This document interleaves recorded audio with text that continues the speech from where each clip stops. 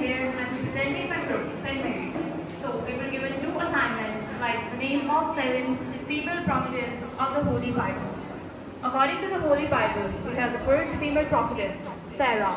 She was the wife of Abraham and the mother of Isaac. According to Genesis chapter 17, verse 15, God said to Abraham, As for Sarai, your wife, you're no longer to call her Sarai. Her name will be Sarah.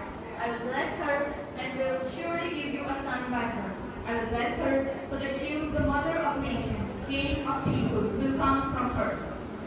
According to the Holy Bible, we have the second prophetess, Miriam, the sister of Aaron and Moses, who played a great role in passing over from Egypt.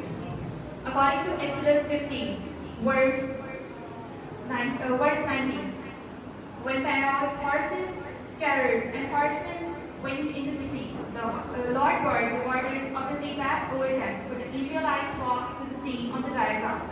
Then Miriam the prophet, Aaron's sister, took the tremble in her hand and followed, and women followed her, the tremble, dancing. The warriors sang to them, Sing to the Lord, he is highly exalted, but both horses and drivers has hurried into the sea. To Holy Bible, the third prophet that have is Deborah.